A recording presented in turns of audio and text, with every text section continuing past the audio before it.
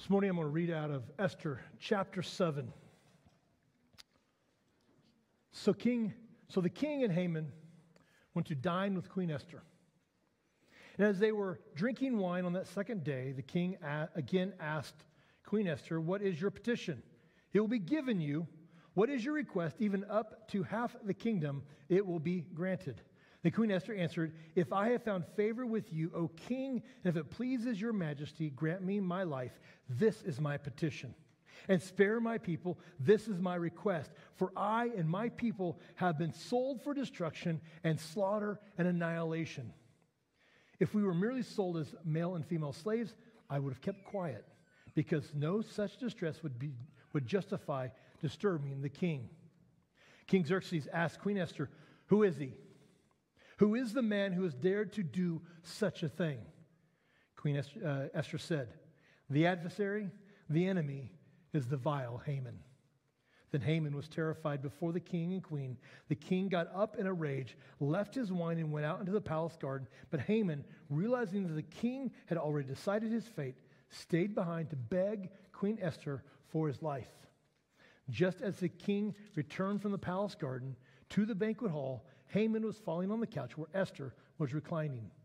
The king exclaimed, Will he even molest the queen while she is with me in the house?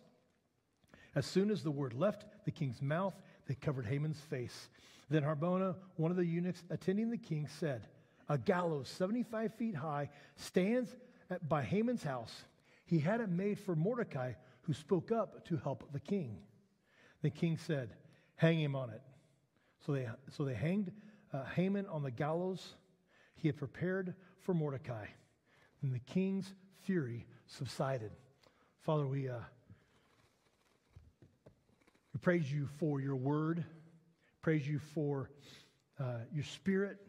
Pray that uh, the spirit would move in our hearts this morning as we, as we look into uh, Esther and as we see just all the ways that you have moved in her and in us. In Jesus' name I pray. Amen. Good morning. Happy Super Bowl Sunday, Chiefs Nation. Woo woo. Yep, I know there's haters out there. Don't get too riled up, okay? Uh, don't worry if you're, if you're, you know, we're, we're not going to be all about uh, football and Chiefs this morning. Um, but uh, in our narrative, we, we are getting ready to see someone have to step up and perform. Have you ever been there? Have you ever uh, been in a place uh, where you had to get ready and, and, step onto the big stage and perform. And it could be music, it could be uh, theater, it could be a, a huge test, uh, or sports, or, or, a lot of things. For me, um, it was sports. It's the, the butterflies, right? That, that, that, time where you, you feel your stomach kind of turning over and you feel like you may just on the verge of getting sick, but you're because it's because you're excited and you're nervous right? Uh, for me, that was, that was in football, that was in, in, wrestling. I wrestled in high school, played football in high school and, and in college. And I always remember, uh, especially back in my college, uh, we would go out to the field about, I don't know, quite a bit. I was always out on the field quite a bit early because I was a long snapper, so I was always out with the, the kickers and punters. And then I would warm up with the linemen. I was a center. Uh, and then we'd go back to the locker room. And this was the worst, this was the worst time. Because you go back to the locker room and you'd sit. You're like 10, 15 minutes before game time, and you're just pacing.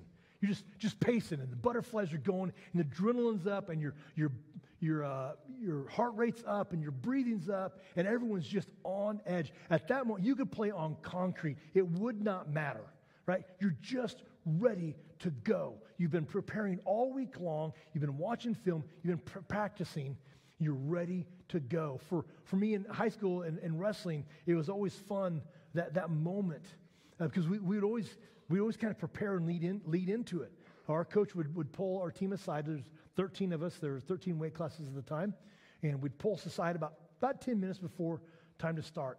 And, and we would, uh, he would speak to us a little bit, Coach Welton, and then our captains would speak to us, and we, we'd get ready, right? Get, get you pumped up. And we had these warm ups where we had the, uh, the dark chocolate brown uh, bottoms, and then we had a, a, white hoodie and a dark chocolate brown hoodie that, uh, like nylon shell, would go over top of that. And we'd put both those hoods up, down low over the eyes a little bit, right? Try to look intimidating. And we would all run into the room to the gym at the same time. Uh, we'd line up lightest to me, I was the heavyweight. We'd line up from lightest to heaviest. We'd choose a mat and we'd jump out and we'd circle the mat like four or five times. It didn't matter who was on the mat, that was our mat. And we would, we would take over and we'd circle and we we're just getting ready. Um, that moment is, is just electrifying. There are moments like that where you have to prepare for something big that are not quite so electrifying, that are harder. Maybe you've been in one of those where it's a, it's a hard conversation you have to have with somebody, something you have to face. A, a, a person, a family member, a son, a daughter, a parent, a coworker, a boss, where you know that you're going to speak into them or, or bring something up that's going to be hard. And you've been preparing and, and worrying about it and praying over it and asking others to pray with you for the right things to be said and for the right thing to happen. Those butterflies are just fluttering inside you. If you were here last week, you might remember that we left Esther in that moment standing on the throne right in front of the king. See, in the last three weeks, as we've been through this series in Esther, we've seen the, the Jewish people, including Esther and Mordecai, uh, trapped in exile in Persia. Uh, we have seen uh, them facing the chaos of, of this narcissistic, um, kind of playboy, insecure King Xerxes. We've seen him deal with the injustice uh, of the hatred from Haman towards their people and, and the hopelessness of a decreed annihilation. And something must be done. Only King Xerxes has the power to do anything about it. And we see Queen Esther there on purpose for this purpose before the king. What allows a person to have the courage to be in that place, the courage to, to face that hard thing? What allowed Esther to stand before the throne in front of the king? It's because she knelt before God first. Past preparation matters. See, Esther didn't go to the king, go to the throne without preparing. And we talked a little bit about this last week. We're kind of continuing right where we're at from last week. Uh, and this, this verse out of Esther 4.16 says, Go gather together all the Jews who are in Susa and fast for me. Do not eat or drink for three days, night or day. I and my attendants will fast as you do. When it is done, I will go to my king, even though he is, it is against the law. And if I perish, I perish. We keep going back to that verse, but the importance of it can't be overstated. Because the contrast of how she goes to King Xerxes now versus how she went to begin with is pretty dramatic.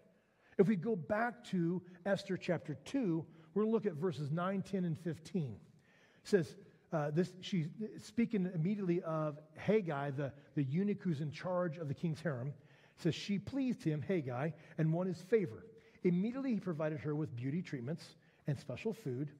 He assigned her seven female attendants selected from the king's palace and moved her and her attendants into the best place in the harem. Esther had not revealed her nationality and family background because Mordecai had forbidden her to do so. Verse 15 When the turn came for Esther um, to go to the king, she asked for nothing other than what Hegai, the king's eunuch who was in charge of the harem, suggested. And Esther won the favor of everyone who saw her, including the king, and she became Queen Esther. Now, here's the deal her preparation the first time was about becoming like the society. She, she conformed to the Persian culture in order to prepare for trying to be queen. And, and we praise her for being there, you know, we, uh, on purpose for purpose. And uh, Scripture says she was for such a time as this. And, and she does, she, she's faithfully there. But the reality is, as a Jewish person, she should never have been hidden within the culture. God said for the Jews to be set apart, to be holy, to stand out from the other places. She wasn't supposed to blend in. This time, this time is different. The first time she feasted. For months, they brought her the, the prepared food and, and they gave her the right beauty treatments. This time, it's three days and three nights of no food and no drink. Before, she comes looking like a queen. This time, she comes looking like a servant. Before, she trusted Mordecai. She trusted Haggai. This time, she trusts God. See, it was Mordecai's instructions not to reveal her identity. Right? That's what she had listened to, to fit in. This time, it's Esther giving the instructions. She tells Mordecai, You go fast and pray, and tell everybody else to fast and pray. And we're going to do the same. And this is how this is going to go down. She doesn't seek wisdom from Haggai. She doesn't seek wisdom from, from her, her Persian court. This time, she seeks wisdom from God. See, the practical application of, of Esther's preparation was fasting and praying, but really, what she was doing was coming back to her relationship with God. See, to have wisdom and courage to stand before the king she knelt before God, the King, big K. And she came back to the one who had always been there, waiting for her, loving her, both her and the Israelites, moving in her life and moving in their life.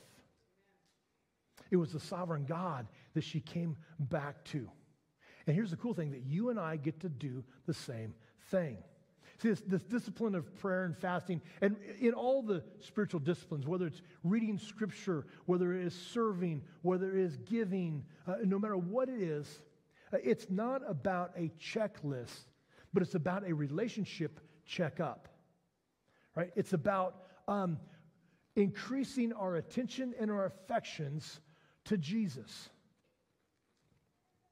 Preparation is all about a relationship with God not about how good we are. And in that, past preparation is going to produce present obedience. And present obedience is possible. It's possible for us to be obedient to God now because of a preparation of a relationship with Him. Let's take a look at Esther 5 uh, 1 and 2. On the third day, Esther put on her royal robes and stood in the inner court of the palace in front of the king's hall. Remember, we said last week that she didn't come on her, on her knees, she didn't come uh, begging, she came standing. She came confidently.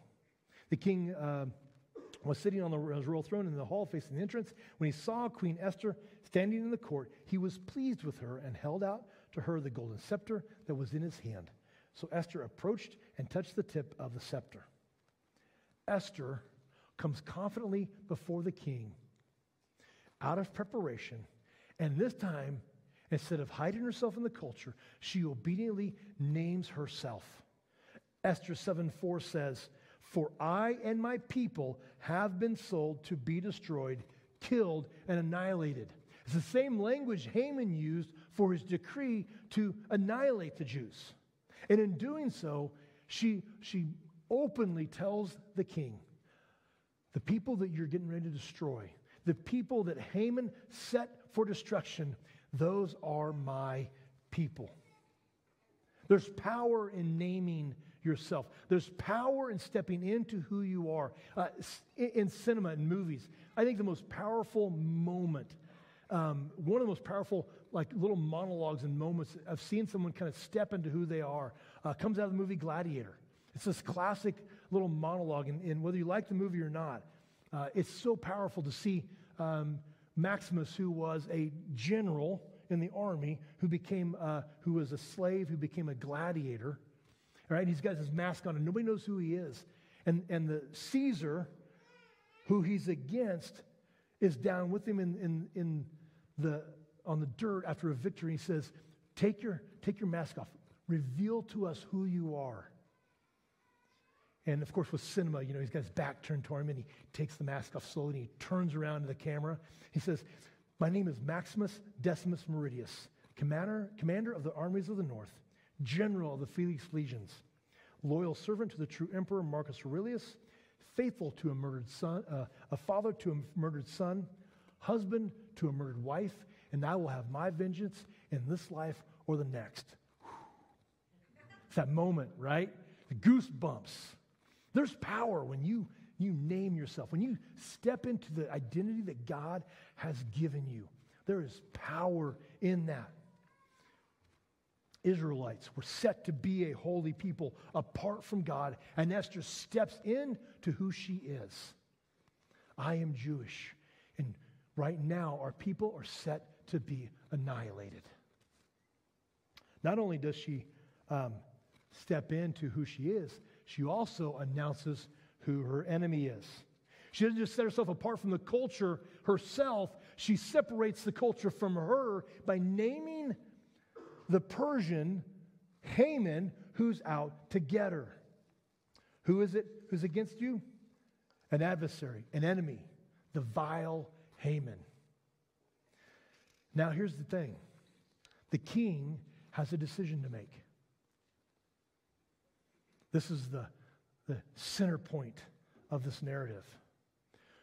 Does he support his foreign queen, or does he go back to his native second in command? There was a point like this at the first part of Esther. Queen Vashti says no. What's the king to do?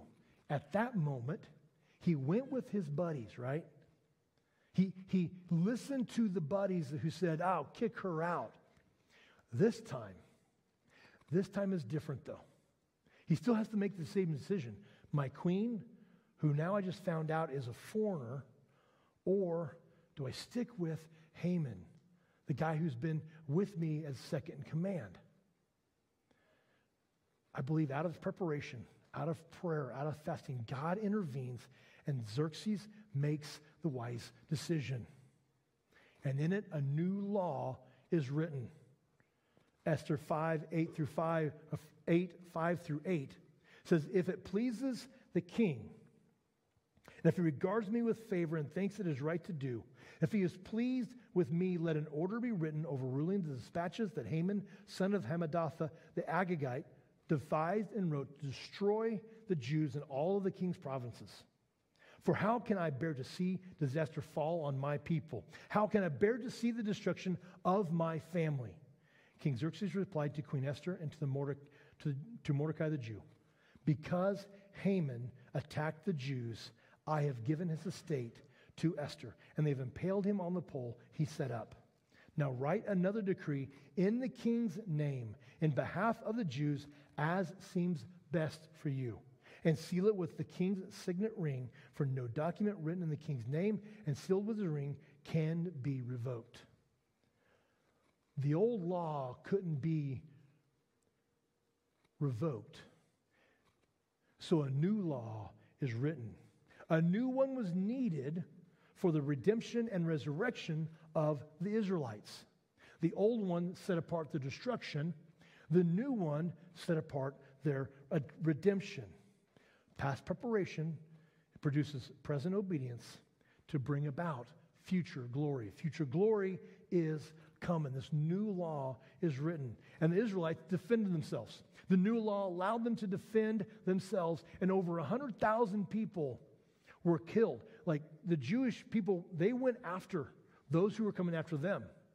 It was a big deal. It wasn't just a small skirmish. Not only that, but in their obedience to their defense, they didn't take any plunder. And it doesn't say, that's like, it says they took no plunder. That's a really small little part of the sentence. If you don't, if you miss it though, uh, Saul, clear back, Saul, who is family to Mordecai, remember, he got into trouble because he took plunder. He was supposed to eradicate the Amalekites who is Haman's family, but he doesn't. And and he takes plunder. And this time, though, they are obedient. They're obedient eh, for their own salvation, and they're obedient to God in the way it was supposed to happen.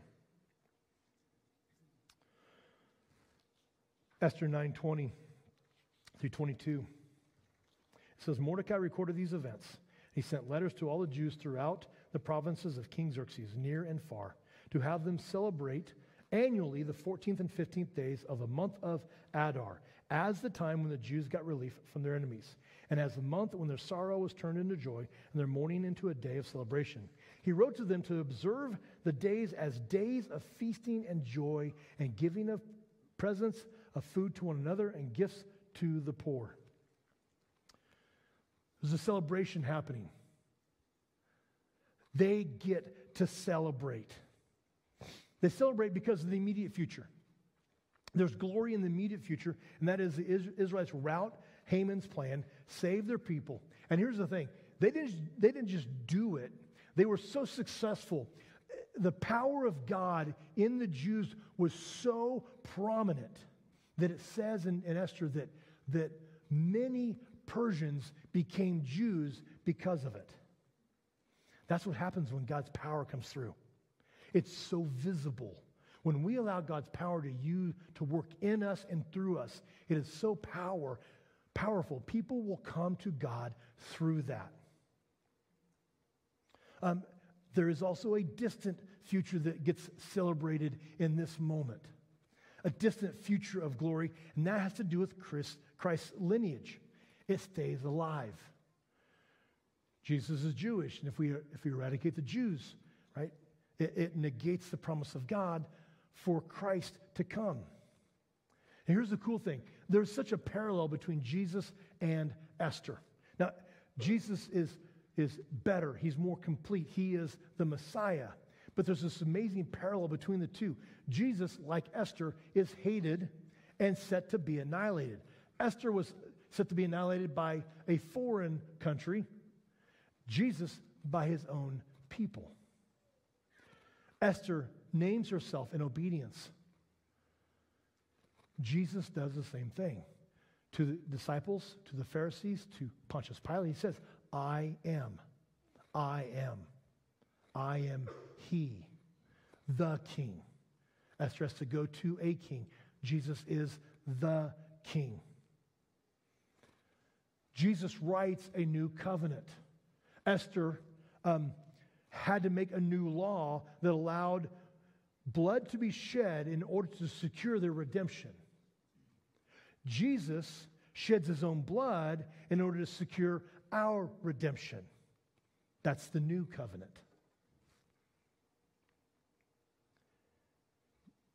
The old law, the new law for Esther, uh, was against the old law. Our new covenant isn't against the old covenant. Our new covenant in Christ's blood completes the old covenant. And in that death, burial, and resurrection, in that new covenant, Jesus defeats his enemies with, by his resurrection.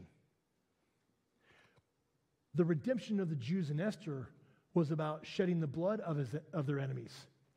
Jesus shed his blood so he could even save his enemies.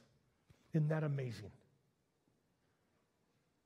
How amazing is our God? How amazing is our Christ? And we get to be a part of this future glory in Christ. Because of him, we are a part of this narrative. We're a part of this story. We're a part of the future glory that happens because of an obedient Esther and Mordecai. Now, here's the cool thing Jews, they are great at celebrating. I mean, if you look through the Bible, like there is one celebration party after another. And, and I've, I've actually gotten to be a part of one. Um, my wife was a nanny in Connecticut for a year for a Jewish family. In our first year in marriage, we got to go back and uh, be a part of their daughter's bat mitzvah. And I'm talking like four or five, six hour celebration, ceremony, party, dancing, um, like, like pre hors d'oeuvres, in hors d'oeuvres, and all kinds of crazy food, amazing meal. this will tell you just how it went. I'll, the desserts 12 eight foot tables of imported Belgium chocolates. That was the dessert time. That ended it. They know how to celebrate. We could take lessons from that. They were celebrating God. We get to celebrate God's glory in Christ. Our celebration is even greater. Like, we should celebrate what we have. We have reason to celebrate. We have reason to celebrate as Christ followers, and I think we have reason to celebrate as a church. Uh, we call this day Vision Day, and it's, it's, a little bit more low key than it has been in the past.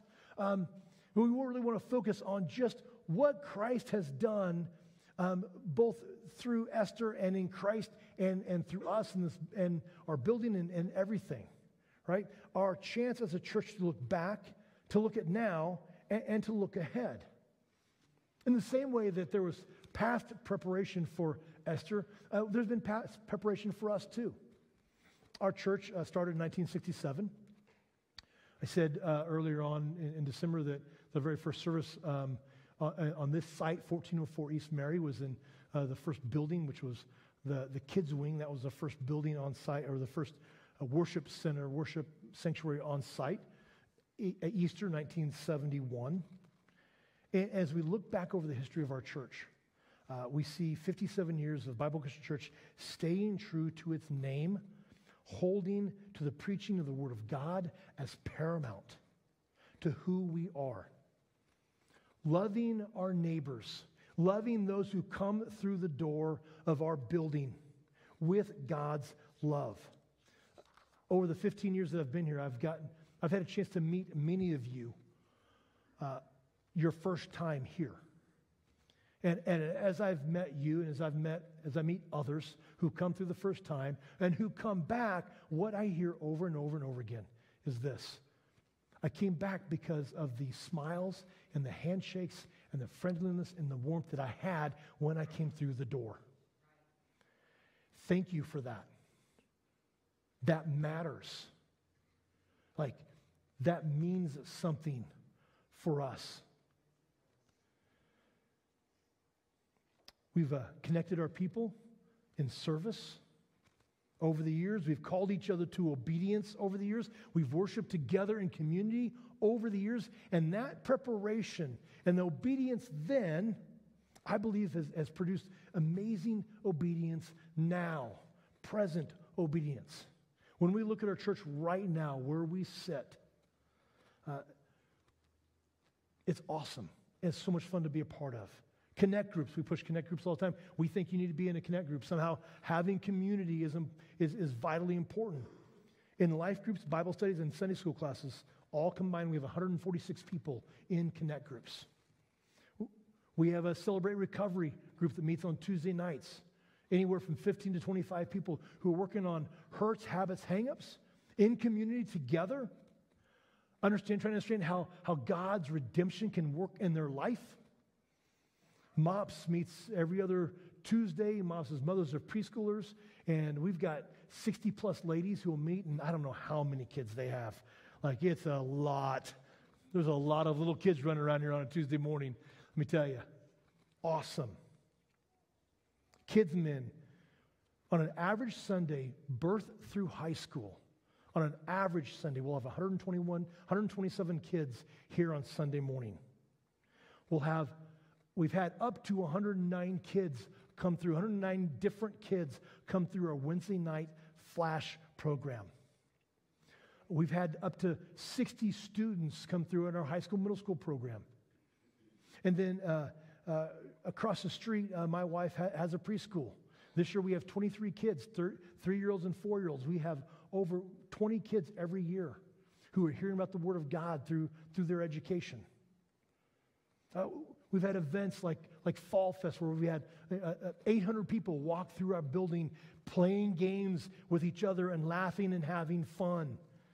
Easter egg hunts. All kinds of, uh, of awesome events, baptisms. This past year, we've had 20 people uh, give their life to Christ through baptism. That's amazing. And, and for us, that's even been a down year, which is, which is awesome to think like it's such an amazing number, and God just does awesome things. We had 15 different people come into our partnership class, which we have another one uh, coming up here in, in a few weeks, who said, I want to partner with Bible Christian Church in my faith. And then we have our new building. And it has been um, a blessing from God. And we know it has been completely from God. It, it started because we had an individual come to us. We didn't seek him out and said, I want to buy this building for a price we never could have dreamed of, of trying to sell it for. We're like, okay, I guess we're going to do this. And, and we did it and we started it. Uh, we started buying things at the end of a pandemic when prices were sky high. We had no idea what was going to happen. And, and as God does, what God does when only He can do things, right as we started buying things, the prices came down and they stayed down. And here in about eight weeks, we plan to be in it. And yeah, it's exciting. It is exciting. Um, and we've said it's a tool, it's not a temple, and we're going to use it to do amazing things for God. It's good to be excited. You might see me walk around kind of giddy once in a while, just kind of bouncing around a little bit, because um, I'm, I'm looking forward to be there. I'm looking forward to see what God does next. That's the fun thing about being a part of a community. When we see God move, we know He's going to move again. Like we get to be a part of Him moving again and again and again. We get to be excited for that. So, our application is as we look at Esther and, and what He's done through Esther, is this prepare yourself to celebrate obedience. As we've been obedient and we continue to be obedient, we're going to prepare ourselves so we can celebrate what God does through that. What does our future glory look like? At Bible Christian Church, what's it look like for us moving forward? Matthew 28, 19 through 20 says, Therefore, go and make disciples of all nations, baptizing them name, in the name of the Father, and the Son, and the Holy Spirit, and teaching them to obey everything I have commanded you. And surely I am with you always to the very end of the age. That verse is part of our vision statement, which is to make more and better disciples. It's more and better. I don't think those two can be separated. I think as believers, it is our call to step into our, our discipleship, step into our faith, to grow in our affections and our attentions to Christ, to grow and be better uh, scholars of the word, to, to be better servers, to, to, to be better in the way we communicate the love of Christ to others, to be better in, in the way we are obedient to what God's called us to do. Uh, not just for ourselves, so that we can show the love of God to other people and make more disciples. The way we make more disciples, we talk about reaching our one.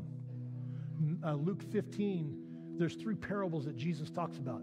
Uh, there's the parable of the lost sheep, where the one sheep gets lost and the 99 are left uh, in the field, and, and, the shepherd goes and finds him. And there's the, there's the one coin that the, the widow loses and she clears the house to go find it. And then there's the, the um, parable of the, of the prodigal son. And the father is waiting, hoping for the son to come back. And when he does, he receives him into his household, rejoicing. That's how we're to go after people. That's how we're to call people back in. And I get this every once in a while as, as we talk about more and better and reaching our one. And, and I, have had people go, you know, Chad, it's not, it's not about numbers. And you're right. There's nothing about how many people are here that will impress God. Yes, you're right. Absolutely. There's nothing, more, nothing about numbers that impresses God. But there's one person who doesn't know Jesus. And they have no future glory, have no future hope. And that one person matters to God. And that one person matters to us. And then the next one, and the next one, and the next one. Those numbers, they do matter. The way we're obedient in God's calling to go reach, to be better ourselves so we can reach others, to make sure that our faith is, is personal but not private, that does matter. And, and the way we word how we want this to look is, is double kingdom impact in five years or less. By kingdom impact, I mean, are we impacting the kingdom of God? Not are we just drawing other believers who are part of another church and who come here. Now, if that's you, I'm glad you're here. But, but hear me. I, to be here, I want you to be here and in what we're doing. It's not about just coming to church. It's about investing in, a, in the partnership that we have with God for what we want our church to do. Yes? We want to have kingdom impact. We want to, to go into our community and to reach people for Jesus until there's no more people to reach. Those numbers matter greatly. Now, being how we are as people, if we don't put a deadline to it, then it doesn't happen, right? So we say five years or less. Uh, we want urgency. It's important to do it now. It's important as we celebrate what God's done here, as we celebrate what God's doing across the street. We never lose the fire, we never lose the, the fervor. As we prepare and continue to prepare. That's a, this is cyclical, it's not linear. This preparation and obedience and glory is, is, is circular. We're continually preparing, we're continuous, continually obedient, and, and we get to see glory through that all the time. Question for you then is this for you and for I and for us, are we willing to prepare ourselves to be better, to reach more, and to help create a future that can be celebrated both here at Bible Christian Church and in eternity. If that is what you want, if that's what you want to be a part of, then the call is to step in with us. Right? Step in and be a part of what we're doing. Stop being a spectator if that's you. Be a participant. Be a part of what's happening instead of just watching it happen. And for you, that may be uh, you've been kicking the tires of Christianity for a while and you've kind of held back really accepting Christ. And it's time. It's time to, to it's time to, to dig in. It's time to, to submit yourself, to cut the pride, submit yourself to God, to make the declaration that you believe in Christ as your Savior, as your Lord, as the Son of God, to submit yourself to the, to the waters of baptism as we, as we submerge you in, in the death, burial, and resurrection of Christ. Maybe for you, that's uh, you've been a part of our church for a while and you've never jumped into serving. You've never jumped into actually being a part of what we do. You've, you've enjoyed being here, but now the call is to, to be a part of it. If that's you, if God's working on your heart, submit to that. Jump in. We have places for you to serve. We have ways that you can use your gifts for God's glory so that we can be obedient as we move forward. I don't know where you're at or, or where, what God is working on your heart this morning. I pray that you would use the seats where you're at as we sing here in a minute as, a, as an altar, as a place where you come before God in this time of ministry. You can use the seats, you can use this, this stage. Fall to your knees, bow your head. Submit yourself to what God is calling you to. Submit yourself to what the Holy Spirit is convicting of your heart. And then celebrate it. Like, be, ex- be excited for what God's doing here in you and what He has plans to do in the future. Let's go and stand as a pray. Father, we. Uh, we're so grateful for um, your redemption, for your resurrection, Christ. And, and you, you did that for us. You, you came, you submitted yourself to, to this planet, to the, to the laws of physics, to this body. You submitted yourself to the Father. You came and, and joined us in this life. And you submitted yourself to death death on the cross. You were obedient in the moment so that we could have glory in the future. Pray that as, as you work in our hearts, Father, Holy Spirit, as you, as you move in us, that you would uh, break the walls down, open our hearts up to you, that we'd be obedient in what you call us to do. So in Jesus' name I pray.